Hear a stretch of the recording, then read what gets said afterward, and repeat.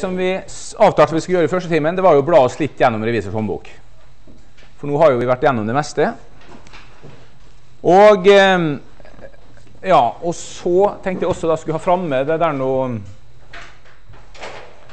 Forelesningsnotatet. Eh, eller eh, det informasjonsskrivet som, har, som, ligger ute under informasjon, og som da vi har mottatt fra denne oppgavekomiteen, som består av tre stykker. Hva de finner på å lage, det har jeg ingen formening om. Eh, men de gir jo visse signal i dette, i dette informasjonsskrivet. da. Eh, og her kommer vel det opp da etter hvert, men vi får starte med revisors håndbok. Det, sant, det som er viktigst for dere, det er Eller primærkilden i eh, sånn, både god revisjonsskikk og god, god revisjons... Eh, og, og god regnskapsskikk, som vi skal inn på her, det er det er jo lova, regnskapslova. Så da blar dere på side 989. Der har dere regnskapslova.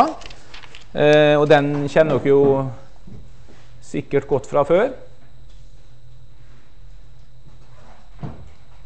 Får beskjed om å sette på det lyset der. Skal vi se. Der, ja. Sant, og den kjenner dere. Eh, ja det, Bare første viktige paragrafen, det er jo eh, Hvis dere blar på side 992, så har dere først konsernparagrafen i punkt 1.3 tilknytta selskap, som vi har vært innom tidligere, i 1.4. Og definisjonen av store og små foretak i 1.5 og 1.6. Sånn, den er jo grei. Eh, bla om på side 994. Der har dere årsberetning og årsregnskap og årsberetning. Og hvis det skulle bli spørsmål om det, ikke vært spørsmål om det, men eh, dersom det skulle bli, så eh, står det da i punkt 3.3 og eh, paragraf 3.3 og 3.3a så står det da innholdsfortegnelsen, holdt på å si, krav til innhold i årsberetninga. Den heter ikke styrets årsberetning, som vi tror Norwegian kaller den. Det heter årsberetning, som underskrives av styret og daglig leder. Så hvis det skulle bli spørsmål, For det er en del av årsregnskapet. det er jo nemlig. Du får ikke godkjent noe på Brønnøysund hvis det ikke ligger ved. Eh, men det, er ikke mye regnskap i det, da. Men det, der har dere i hvert fall den, hvis det skulle bli snakk om det. Så eh, ja, jeg kan jo ja, ja, jeg kan jo vise dere den på Norwegian etterpå, men vi skal se på det. Ok. Eh, og så kommer da ja, Bare nevne også paragraf 3-6 eh, på side 999, denne med konsernregnskap. Og så kommer da på side 1000 det var innmari greit å huske, så kommer de grunnleggende regnskapsprinsippene. Det som er på en måte bakteppet for regnskapet. Forsiktighetsprinsippet, kongruensprinsippet eh, osv. osv. Transaksjonsprinsippet, opptjeningsprinsippet. Alle disse prinsippene ligger der. Og Legg da spesielt merke til den paragrafen som vi har vært mye innom. Sant? Øverst på side 1001, paragraf 4-3, kongruensprinsippet. Virkning av endring av eh, regnskapsprinsipp osv. skal føres direkte mot egenkapital. Unntak i siste ledd mot, for små foretak som kan føre resultatføre. Den har vært bortom. Og så kommer da vurderingsreglene. Vi trenger ikke å kunne dem og pugge dem, vi må vite hvor de står. Om starter med å definere klassifisering, omløpsmiddel, anleggsmiddel. Sant? Differensiering av de to. Og så kommer da nærmere vurderingsregler for omløpsmiddel, lavest verdiprinsipp og anleggsmiddel. Anskaffelseskost minus verdiforringelse. Og der har du hele pakka med, med vurderingsreglene. De har vært innom mange ganger i ymse varianter. Og så kommer da eh, paragraf 6.1, som sier hvordan resultatet, eh, regnskapet, skal stilles opp. Du har også en, eh, du har egentlig to varianter. 6.1 eh, som heter art, altså salgsinntekter, driftskostnader osv. Og så kan du også ha en variant som er lite brukt, 6.1a, som er etter funksjon. Samme regnskapet. Men uansett så ender det opp da med et årsresultat som siste post. Og som jeg har sagt før, så er årsresultatet per definisjon etter skatt. Uansett om det, Du trenger ikke å si årsresultat etter skatt. Årsresultat er etter skatt. Ok, og Så eh, kommer da punkt sju, er noter. Dem har vi gått lite inn på. Det har vært lite spørsmål om det. Eh, men dere har i hvert fall noteopplysningene der, bare, bare så dere vet at de krav til noter sånn, eh, står der. Noter Ja. Det, det er heller ikke gått så mye inn på, men det er av og til at du kan få opplysning fra notene. Ok, så det er regnskapslova. Og så kommer forskrift av regnskapslova. Den eh, ja, for banker og sånn, det er innmari spesielt. Og så kommer vi da borettslag, altså. Det er jo ikke så innmari interessant. Spesiallovgivning. Men så kommer vi da fram til det som heter god regnskapsskikk. Og det starter på side 1133. 1133. Sånn? Og legg da merke til Der må dere ha en eller annen sånn det, rytter, eller hva heter det, sånn som dere har i og ta, ta, i, finne, eller dere slipper å bla hver gang. Sånn eh, Hva dere kaller dette? her? Rytter? Da, jeg lærte en Pynt. pynt. Ja. Pynt, ja. En nyttig pynt, faktisk. Det er ikke all pynten kan si det om. Nei. Det skal jeg ikke gå inn på nærmere nå, men eh, i hvert fall, Der har dere innmari god oversikt sant, over alle reng, eh, gode regnskapsskikkene. Både NRS-ene på side 1133, foreløpige regnskapsstandarder på side 1134, og Der står også høringsutkast, og så står det også diskusjonsnotat, og så står det også veiledningene der. da, Og noen uttalelser som vi også skal komme litt inn på. Ok, Så har vi disse, disse regnskapsstandardene bakover. da. Vi skal bla oss litt gjennom dem. Eh, men jeg vil bare henlede litt oppmerksomheten til dette informasjonsskrivet. For her står det litt om hva dere skal beherske.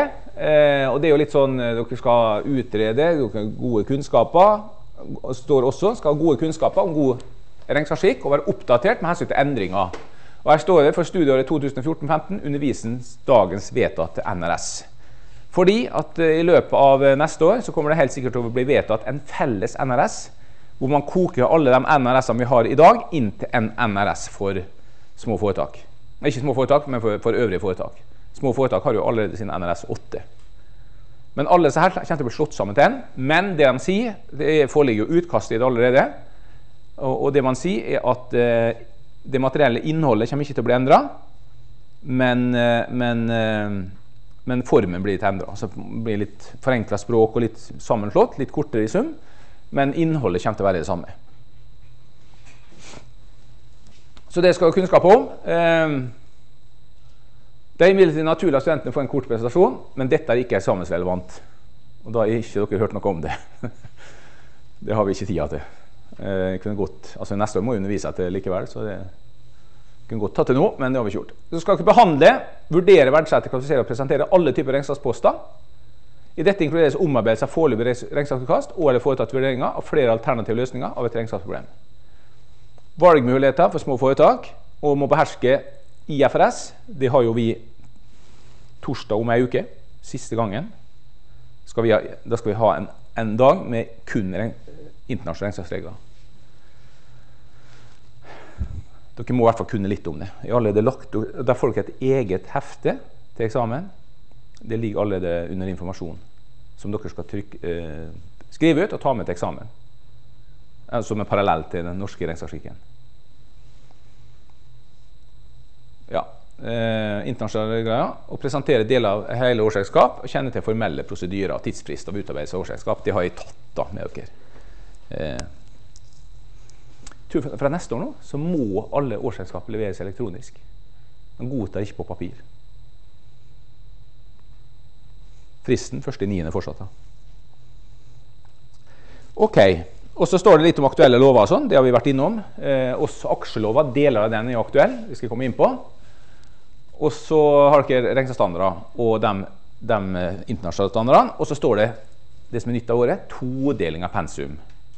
Og Grunnen til at vi tar dette nå, det er at dette har litt å si når vi nå skal gå inn, gå inn på NRS-ene. Sånn? Todeling av pensum. Og det er litt viktig, for det er noen av NRS-ene som da ikke er så viktig. altså Det er viktig fordi de er ikke så viktige. Så står det det er naturlig å dele pensum inn i to deler. Den ene delen er en hoveddel hvor studentene må kunne beherske stoffet i detalj.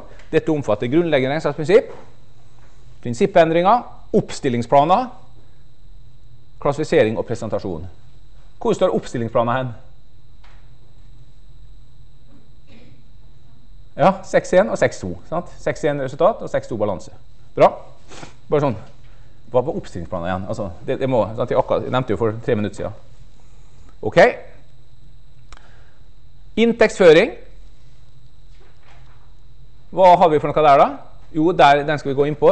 Der har vi den veiledninga. Den skal vi ta etter hvert, da, som vi kommer til. Og så står det varelager. Ja, ok. Da tar vi, og det er jo den første eh, NRS-en. NRS varelager står på side 1. Nei, side 1, 1150. Det er nummer 1. Der har vi tatt en del dypdykk. Eh, jeg håper kanskje at dere har noen sånne små notater der fra forelesningene.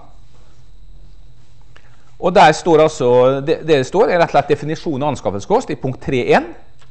Eller først i punkt 2 da, hva regnskapslova sier, og 3.1 er definisjon av anskaffelseskost. Og 3.2 er virkelig verdi. Og der står det forskjellige sånne praktiske ting. Eh, ja, som vi har gått inn på. Jeg går ikke inn på den detaljen nå, men den har vært inn på.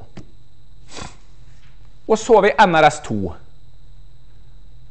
Vel, lenger nede her så står det den andre delen av kurset er såkalt oversiktsstoff, hvor studentene bare trenger å kunne hovedtrekkene til eksamen.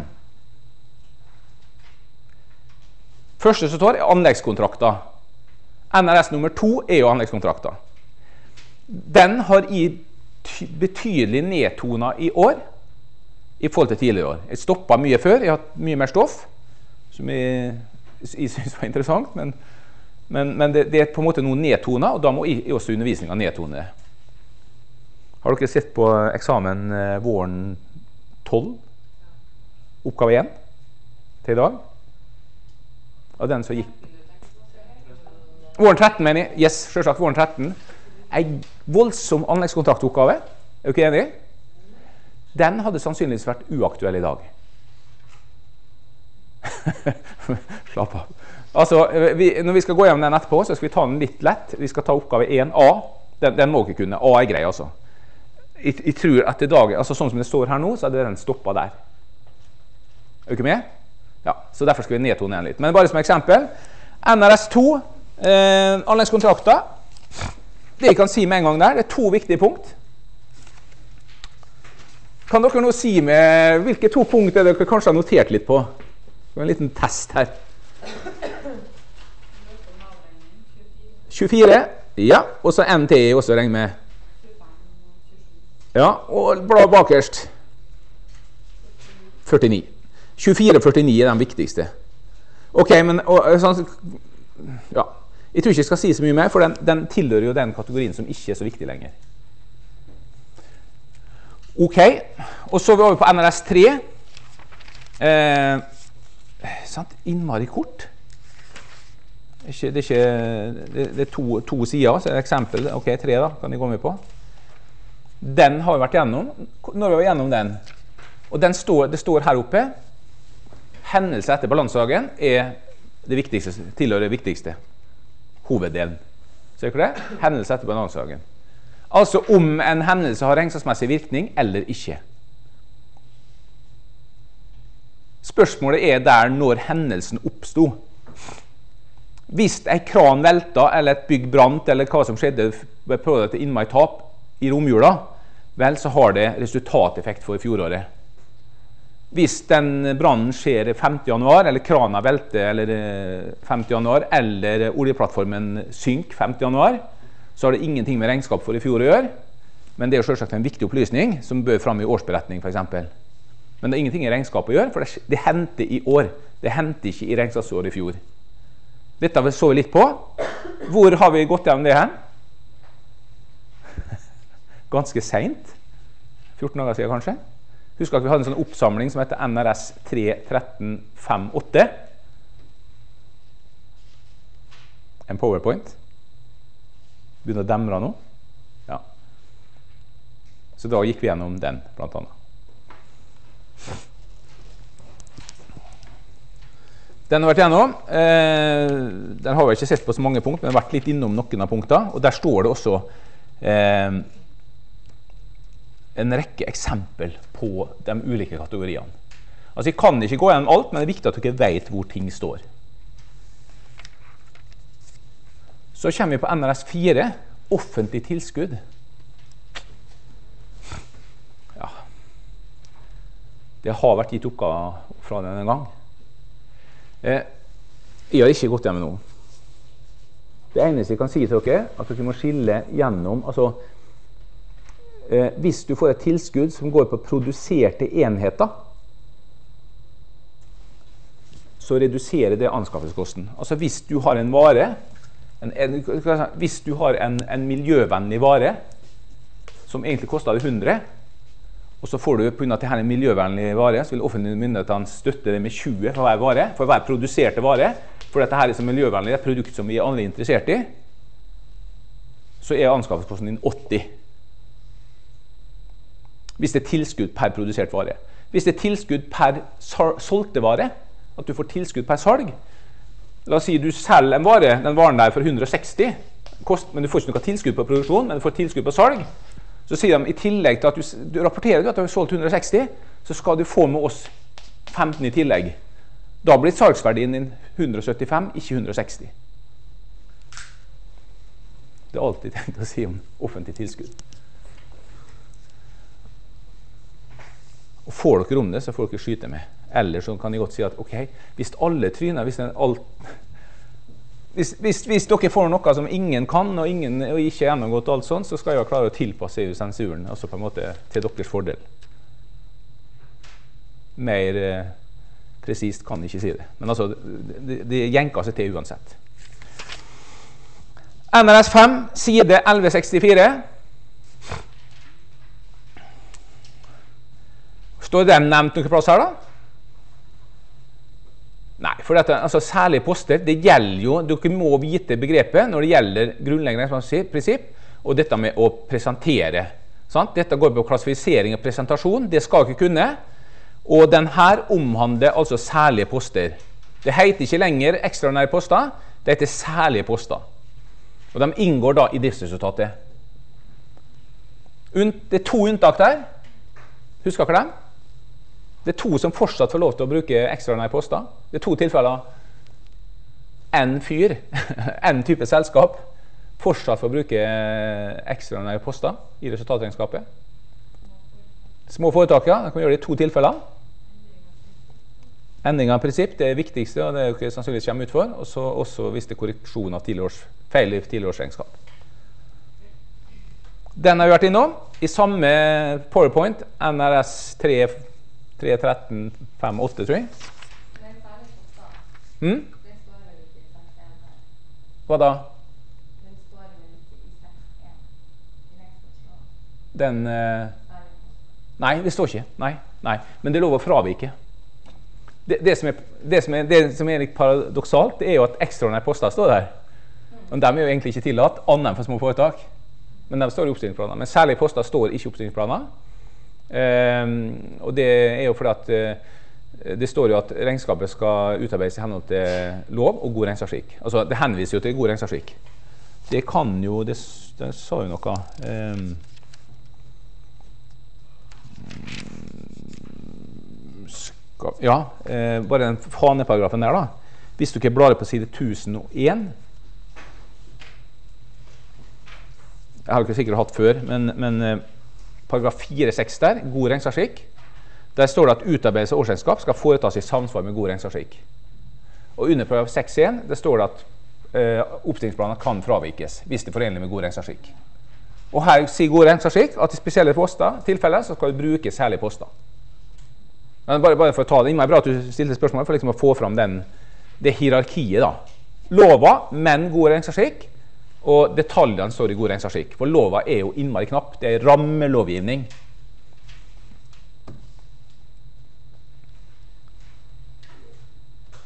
Ja, Man kan jo si 'hvorfor tok du ikke her til å begynne med kurs'? da?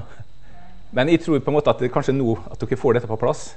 Eh, og nå husker dere det en måned til, i hvert fall. Ok, det var den. Eh, nummer fem. Nummer seks har jeg overhodet ikke tatt. For det står nemlig her at eh, skal oversikt hovedtrekkene Et av det er pensjoner. Og det har vært noen ekle oppgaver, morsomme, men innmari matematiske oppgaver knytta det temaet. Eh, grunnen til at det ikke er så aktuelt lenger, det er på en måte at man har tatt bort dette med ytelsespensjon. Nå er stort sett tilskuddspensjon, som går ut på at eh, når du eh, får en jobb en plass, så, så ok, du får lønna di, og så heter det at du, de skal også ha en pensjonsordning. Og da sier de pensjonsordninga vår at vi betaler 20 000 inn til et, eh, minst 2 av lønna di. Ja, litt mer, da. Men ja, la oss si de fem, ja, 20 000. Hvert år skal vi betale 20 000 i premie for det. Og, så, og da har de gjort sin forpliktelse og har en pensjonskostnad på 20 000. Det skal betales arbeidsgiveravgift av det også, men eh, men da er de ferdig med det. Det det er tilskuddspensjon. Og det, det, er 20 000 i året. Ferdig med det. Hva du får i pensjon, det er ikke arbeidsgiveren ditt sitt problem. Det er hvor, avhengig av hvor dyktig det forsikringsselskapet eller eh, pensjonsselskapet er til å bruke til å få avkastning på pengene dine inntil du skal pensjoneres. Alternativet det er ytelsespensjon. Jeg tror det er innmari få ansatte som får klare å gå inn på ytelsespensjonavtale lenger. Statens pensjonskasse har det. eh, og da får du, I pensjonskassa så får du jo utbetalt eh, to tredjedeler av sluttlønna di. noe sånt. Jeg har ikke satt med mye Men det er en ytelsespensjon hvor du får pensjon som, av lønna di og opptjener rettigheter. Og da fører du det som en endring i pensjonsopptjeninga er lik pensjonskostnad. Slik at hvis du da Jeg vet ikke hvor mye vi skal gå inn på her.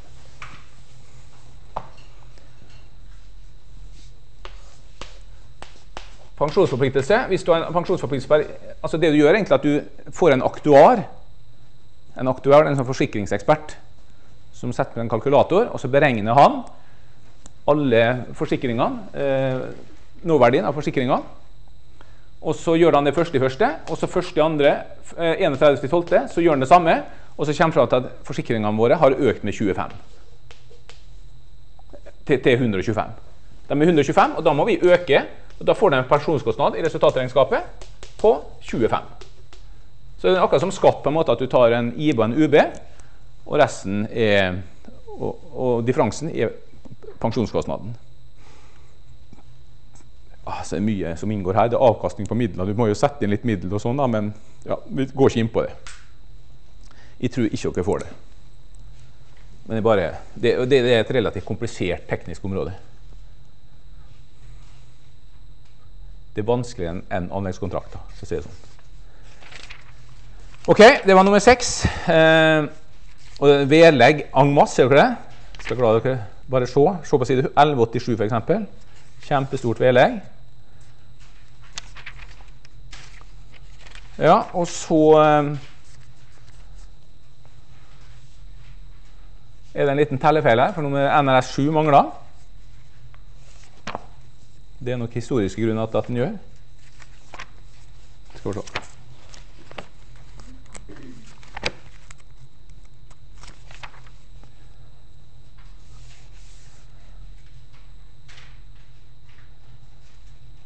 Det er en regnskapsvits som går på følgende. Apropos den her nå, at det mangler det var seks, og plutselig går det over på nummer åtte. En kort regnskapsvits. Det fins tre typer regnskapsfolk. De som kan å telle, og de som ikke kan å telle. Vitsen er ferdig. Ok. Vi skal, dere får tenke på den. Så. Nummer åtte. God regnskapsskikk små foretak. Den har vi sett litt på. Det jeg har sagt dere der, altså den har ikke gått, Vi har vært innom den også på mange punkt. Men vi kan ikke gå inn om alle. Men det som er viktig, er å klart for seg den, den uh, innholdsfortegnelsen på, side, på 1188. 1188 1189.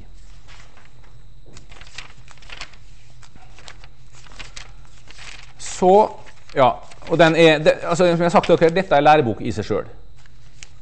Den her blir nok også sannsynligvis uh, overlevende den, den uh, endringa, gjennomgangen som, nå skjer av god regnskapsskikk.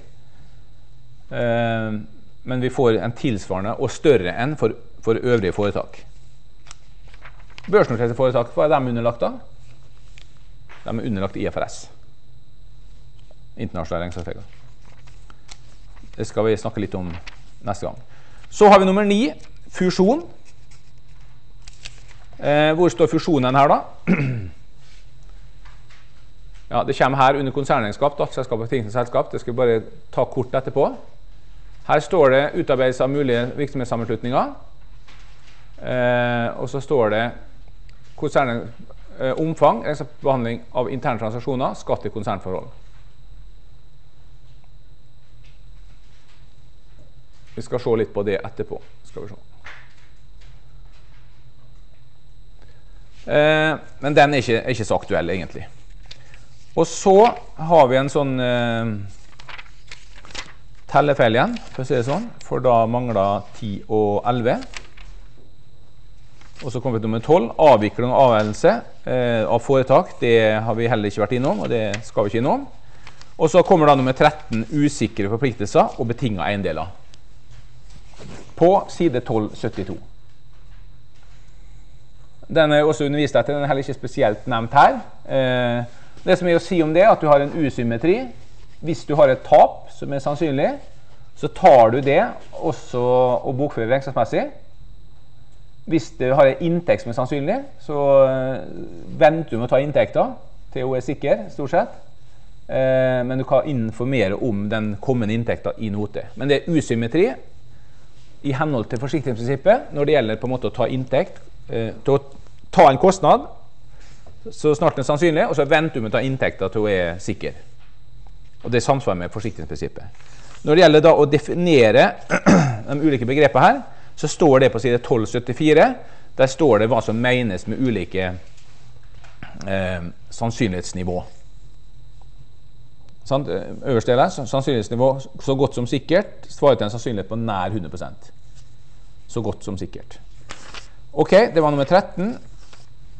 Og så nummer 14 det er leasing leieavtaler. Dere ser her at de også inngår da i, eh, i eh, det som ikke er eh, så aktuelt. Vi har vært litt innom det likevel. Det dere bør beherske, er jo forskjellen på vanlig leasing, altså det man kaller operasjonell leasing, som er f.eks. Altså et leieforhold. Leie en maskin, betale en årlig leie, eller noe sånt, kontra finansiell leasing, som i prinsippet innebærer et kjøp og salg. Vi har i hvert fall gått gjennom nok innenfor det området der.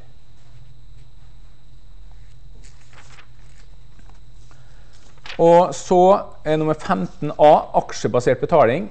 Det, vi rekker ikke, altså. Det, er, det, det er ikke noen kompliserte ting, egentlig, men det tror jeg ikke at dere får.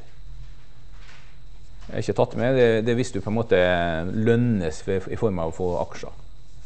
Det er også en relativt skattemessig komplisert sak. Da. Har dere vært borti den i skatt? Skatterett? Nei, det er litt søkt. Det er liksom litt sånn spesielt særtilfelle. Så den tror jeg ikke er så aktuell. Og så har dere nummer 16 på side 1291, årsberetning. Bare legg merke til den. altså Det er en egen standard når det gjelder du, hva du skal skrive om i årsberetninga.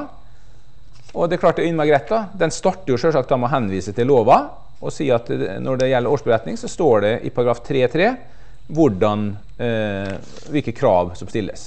Det står øverst på side 1292, norsk regnskapslovgivning, og den refererer da til paragraf 3-3 i regnskapsloven. Så her har dere et tips om det. Vi har ikke gått inn på det. Og så har vi nummer 17, konsernregnskap og virksomhetskjøp. konsernregnskap og virksomhetskjøp. Den skal vi litt innom i dag, og den skal vi også Vi har vært innom den litt underveis. Eh, og den skal vi også gå innom nå seinere. Eh, begge de to eksamenssettene hvis vi rekker å gå gjennom. Eh, men det skal vi klare i løpet av dagen. Inneholder jo to store konsernoppgaver. Så da kommer vi tilbake til den. Vi har også vært innom den tidligere. NRS 17.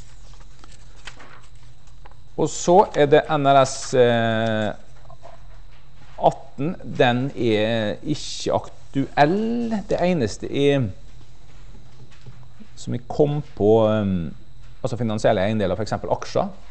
Det eneste vi kom på at dere kan streke under der, det er på side 1313. 1313. altså Jeg sier litt om aksjer. Bare en paragraf Finansielle instrumenter er jo ganske komplisert. Men det er et par nyttige paragrafer der. Hvis dere ser på 1313 øverst der, i punkt 8, så står det litt om anleggsmidler. Sant? I punkt 9 så står det omløpsmidler. Så du kan jo streke under der om anleggsmidler, omløpsmidler. Og så står det i punkt 11 lenger ned der. Børsnoterte aksjer skal regnskapsføres til balansedagens kurs dersom denne er lavere enn kostpris. Det er lavest da. Det gjelder uavhengig om aksjen er klassifisert som omløpsmidler eller anleggsmidler. Så børsnoterte aksjer skal vurderes som laveste, etter laveste prinsipp, sjøl om de er anleggsmidler. Nå er det ikke så mange som har kjøper børsnoterte, børsnoterte aksjer som et anleggsmiddel, da, med et langsiktig perspektiv, men det kan jo skje av og til. Hvis Statoil kjøper noen noe aksjer i Orkla for de vil inn på distribusjonsnettet på mat, mat eller et eller annet. Altså, det kan skje, men vanligvis så, så de fleste eh, har jo et kortsiktig perspektiv på, på ja, Unntatt investeringsselskap, da, selvsagt. Altså forvaltningsselskap. Ok, det var 18. Eh, nummer 19, immaterielle eiendeler, som er på side 1321. Den har vi også vært innom. Og den skal vi faktisk innom i dag på den ene eksamensgava. Det er nesten sånn at det er viktig at dere er klar over at den eksisterer. og Så kan man bla opp der, og så, man, så har man en del tips der. Med på det? 19 immaterielle eiendeler. Eh, 20 transaksjoner av regnskap i utenlandsk valuta. Valuta står jo her nevnt som noe som er orienterende stoff. Oversiktsstoff, som det heter. Valuta. Eh, men dere må jo kjenne til hovedregelen når det gjelder eh, når det gjelder omløpsmiddel. Eh, det er rett og slett balansedagens kurs. Alle, alle pengeposter i utenlandsk valuta skal, skal bokføres til balansehagens kurs. Hva er pengeposter i utenlandsk valuta, da? Jo, som er pålydende den utenlandske valutaen. Dvs. Si, har du et lån i euro, så skal det lånet omregnes til balansehagens kurs.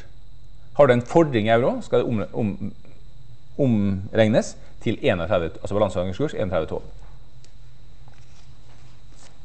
Eh, og så Ja, det er den. Og da er vi ferdig med egentlig de gode regnskapsskikkene. Men da er vi over på de foreløpige regnskapsskikkene foreløpige regnskapsskikkene. Og da starter vi med den aller, aller viktigste, nemlig den som heter resultatskatt, på side 1335. Resultatskatt. Og den har jo vært innom en del plasser. Gang, plasser og ganger.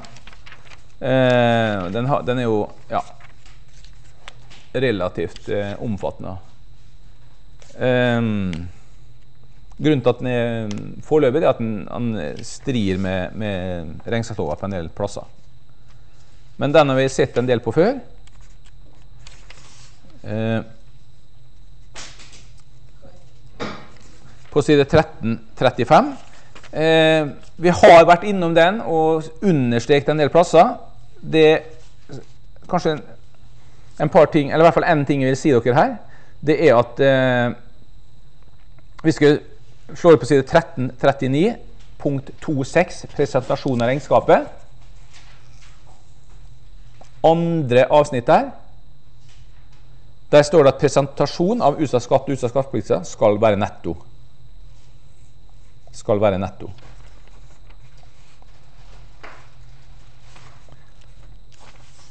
Har dere strekt under noen andre plasser enn den standarden her?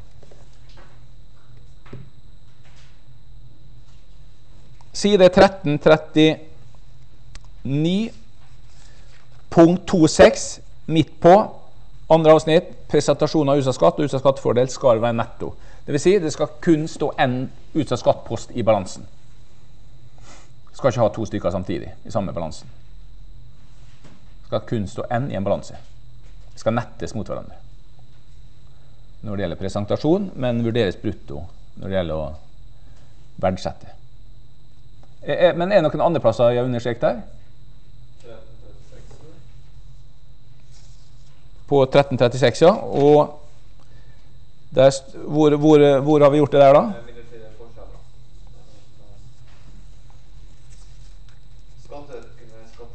Ja, definisjonen av dem, ja. På sida der. Ja, bra. Stemmer. Og det jeg har sagt til dere, som dere ikke har lov å skrive, hvis dere får tolkinga av det, det er jo framtidig skatteøkende og framtidig skattereduserende forskjeller. Kan, men Jeg har ikke lov å skrive foran, men kan jo finne en F og sette et strek under F-en, og så R-en. og sette et, Det er ikke tillatt. men en ting til som, som dere bør ha med fra den standarden her. Det er dette med Som vi kanskje ikke finner nå, da. Men det er dette med når det gjelder å sannsynliggjøre eh, 2-4, nemlig. Sannsynliggjøre eh, Hvis du skal balanseføre en utsatt skattefordel, så må du sannsynliggjøre at du får bruk for den. Det har også vært mange oppgaver der det er viktig å henvise til det. Punkt 2-4.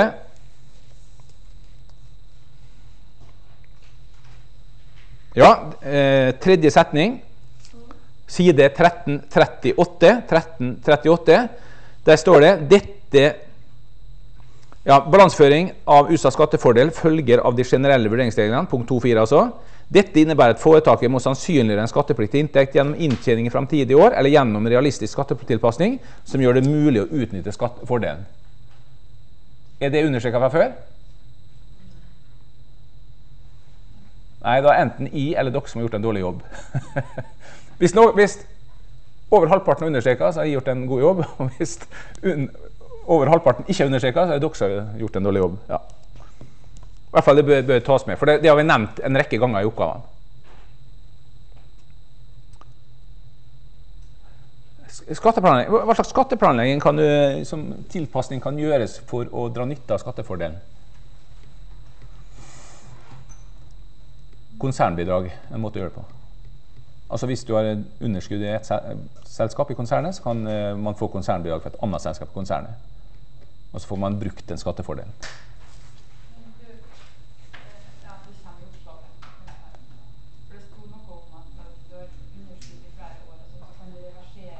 Ja, når betingelsen Ja, jeg skal se på det, for det er oppgave tre, det. Ja. ja, ja. Nei, vi skal komme tilbake til det. Men når, du kan si når betingelsen for balanseføring er til stede, så kan du ta hele utsatt skattefordelen. Når du kan sannsynliggjøre at, at, du får brukt alt sammen. Ja, Vi skal komme tilbake til det. Ok, den er viktig. NRS eh, det var den viktigste foreløpig. Eh, ellers er ikke noe viktig i den kontantoppstillinga. Det, det var jo Det har dere hatt før. Stemmer? Kontantum, altså neste punkt, kontantstrømoppstilling. Eh, det har ikke vært eh, noe særlig om i, i her. I, i eh, det kurset her, for å si det sånn. Skal vi se. Og så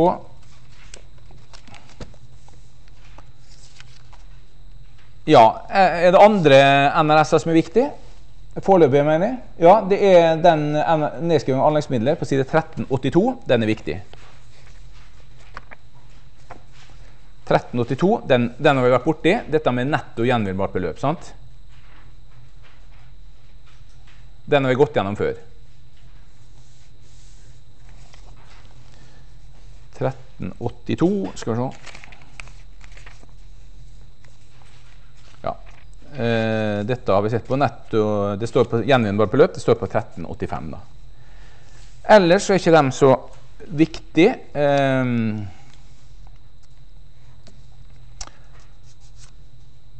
Ja, og da er vi gjennom de fleste, unntatt to ting. Det er en til som er viktig, en blant veilederne som er viktig, nemlig regnskapsføring av inntekt 967. Sant? Regnskapsføring av inntekt på side 1509. 1509. Jeg, bare, jeg, tenkte å gå litt over tida, så vi blir ferdig med, med den biten her. 1509, regnskapsføring av inntekt. Der har vi et eget notat eh, knytta til det. Forelesningsnotat. Og Det som er spesielt der, det er at der definerer vi altså dette med overgang av risiko og kontroll.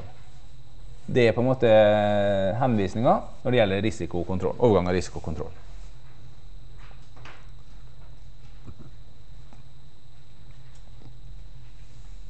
Det er NT som også dere kan merke dere. Og det er 964 anvendelse av IFRS-løsninger for innenfor god regnskapsskikk på side 1501. Den er på én side, eller litt over, kanskje.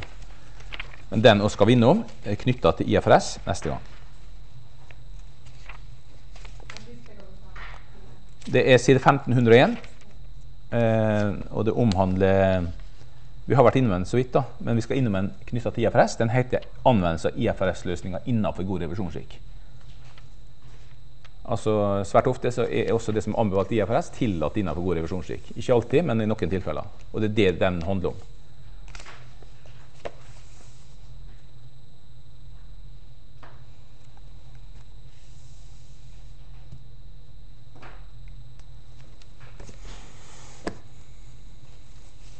Ja, så det er litt stoff. Men, men eh, som jeg skal si til dere også gjennomgangen her, at det ikke eh, ikke ambisjoner om å få til 100% få til alt her, men, men det, det, altså, Du kan si at når det gjelder eksamen, vi skal ta senere også, så er det viktigste på en måte å, eh, å få til ting. Eh, sekundært å henvise. Eh, og rekkefølgen der er å henvise først til lov, og deretter god regnskapsskikk. Eh, men ikke bruk for mye tid til å finne fram etter referanser til god regnskapsskikk. Men det er ofte sånn at for å løse en oppgave så trenger du kanskje referansen, og da skriver du selvsagt opp referansen du har funnet fram. Med mindre en teorioppgave, som vi skal se på bl.a. nå i dag, eh, er en teorioppgave, så er det jo viktig å, og, og, på en måte selvsagt gå litt i dybden i god regnskapsskikk. Men ellers, for å løse oppgaver ellers, så er det ikke så, så viktig. Eller Av og til så trenger du for å løse oppgaver. og Har du da, for, eh, for, eh, har du da funnet den fram for å løse oppgaver, så må du for all del også ta med og nevne den i besvarelsen din. OK? Da tar vi pause der. Eh, jeg, jeg tror jeg kommer til